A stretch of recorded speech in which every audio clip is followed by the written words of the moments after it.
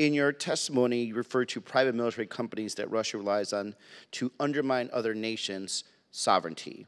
To the extent possible in this open setting, can you share your perspective on the relationship between the Wagner Group and the Ru Russian forces at the operational level? And are you seeing the Wagner Group's presence in Africa change as a result of the war in Ukraine? As you know, uh, the Wagner Group is a mercenary private military company. They're conducting combat operations right now in Bakhmut primarily.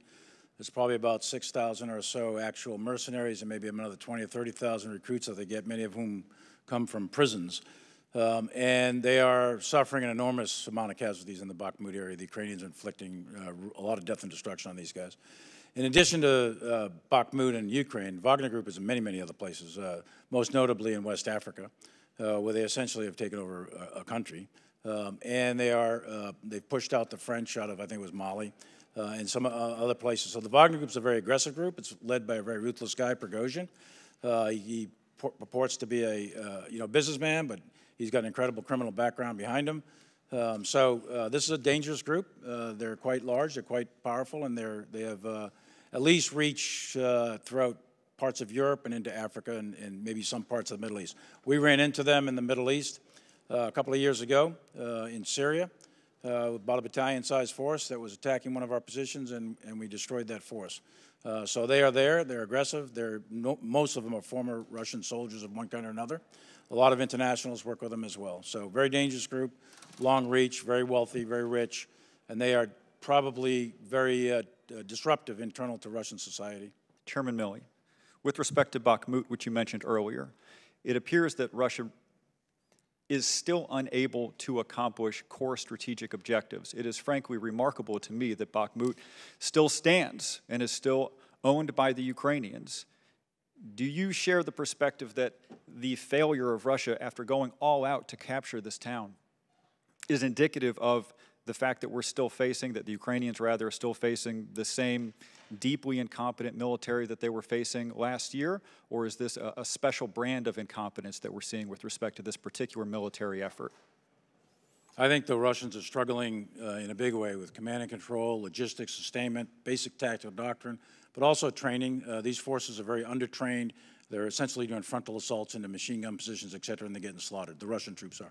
The Ukrainians are doing a very effective area defense uh, that has uh, proven to be very costly to the Russians. For about the last uh, 20, 21 days, the Russians have not made any progress whatsoever uh, in and around Bakhmut. So it's a slaughter fest for the Russians. Uh, they're getting hammered in the, in the, vicinity of Bakhmut, and the Ukrainians have fought very, very well. That's also true across the entire frontline trace, from Kreminna all the way down to Kherson. The Ukrainians have fought a remarkable defensive fight, and the Russians have not achieved their strategic objectives. Do you see the Russian objectives with respect to Bakhmut as being part of their offensive, or would you say this is a special effort and the broader offensive has yet to begin? No, I think it's the latter. I think they, they I think the Russian offensive, if you will, began some time ago, and it has had fits and starts, and it has not achieved the momentum and success that they expected it to achieve. If I could ask you a broader question, which you may not be able to answer. If we had never supported the Ukrainians at all, would Russia have conquered Ukraine by now? I think without Western support, uh, first of all, I think the, the, Ukrainian people, their will is indomitable. Uh, the, these are the same people, they're the, the, sons and grandsons of the folks who fought Stalin and Zhukov for 10 years from 1945 to 1955. So the Ukrainians are not going to be easily conquered no matter what. If they're fighting with pitchforks and, and, and, and spears, they're going to fight back. Uh, but having said that, they would have uh, probably lost considerably more ground without Western assistance. Uh, there's no question in my mind about that. So I think Western assistance has been critical to the Ukrainians being able to defend themselves. With respect to Putin, seems to me, seems to a lot of folks, very clear that he's a war criminal, lots of evidence for this, and yet there are plenty of people in this country who still don't see it that way, who see Putin as basically a national leader pursuing national interests. If you could speak to those folks and give us your sense on his status as a war criminal, that would be appreciated. I think the war itself is illegal. It, it, it undermines the very under, uh, one of the first principles that were established after World War II uh, that underwrites the so-called rules-based international order that is part of the United Nations, for example, which is wars of aggression, uh, which are unprovoked, not in the cause of defense, uh, where large countries then use their military force to attack smaller countries not in the defense of their own nation. Uh, and, and Ukraine presented no military threat whatsoever to Russia. And yet he lined up 170, 100, or 200,000 troops, multiple divisions, multiple axes of advance, and he conducted a major league war of aggression. A war of aggression in and of itself is a war crime. Uh, and then, of course, you've got the actual war crimes in, in many of the cities and towns. Uh, you- when you bomb and shell civilian cities, when you bomb and shell uh, civilian infrastructure, uh, when you're when you're killing uh, kids and women and children, uh, all of that, all of that is war criminal war crimes, and and their units, their unit commanders, all the way up the chain, are committing war crimes. The Russian forces are, and it's a tragic unfolding of events, but it's true. There's a lot of war crimes being committed by the Russian forces in Ukraine. Putin has, you know, clearly made some of the most uh, outrageous miscalculations uh, of any leader in, modern times. Um, he miscalculated the will and, and commitment of the Ukrainian people. He made a major miscalculation uh, in, mis- in not understanding the leadership of the U.S. and the commitment of the U.S. to lead. And he made another miscalculation in, in not understanding how our allies, our transatlantic allies in particular, but even our global allies, even beyond NATO, how they're banded together uh, so coherently and strongly under this leadership.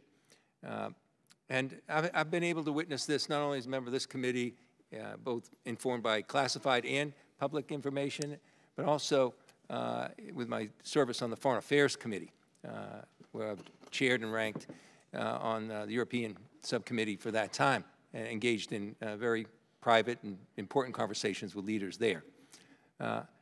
Yet there are voices in the American public right now that will say that our coalition partners are not holding up their end of the bargain. Uh, I'm informed by information, uh, you know, that I've had that just to the contrary.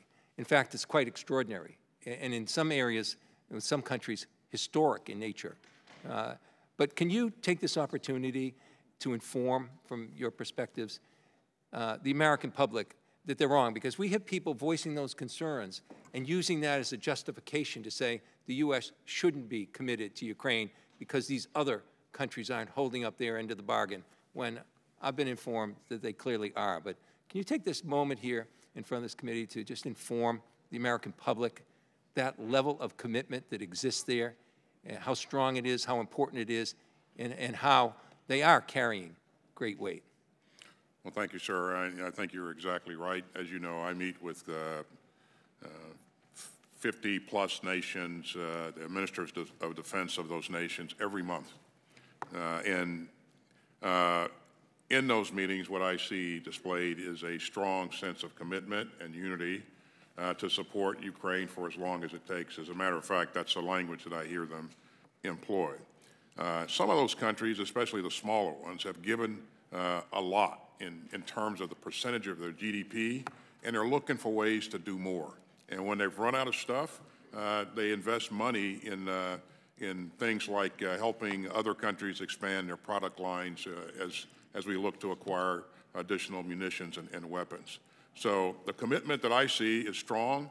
Uh, what I've seen them provide is, is, is impressive, but there's always more than we can do. And you hear me uh, consistently beating the drum for more air defense and, and, and other things uh, in, in support of Ukraine. But what I've seen thus far, uh, I've seen tremendous support uh, for, uh, for Ukraine and helping it defend its sovereignty. Chairman Milley? Yeah, exactly the same thing. The, uh, you know, 54 countries, and obviously there's only 30 in NATO, so those come from all around the globe.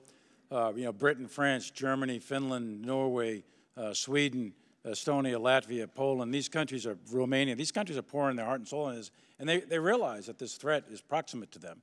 Uh, So they, you know, you look, look at Poland, how many refugees they've taken, look how many, how many tanks they've done, and, and, and, or they've provided, how many BMPs they've provided, all the training that they've done, and they are a major throughput for all the logistics, and it's not without risk. So these countries are putting in uh, as one team, and, and, and they understand the threat that's facing them.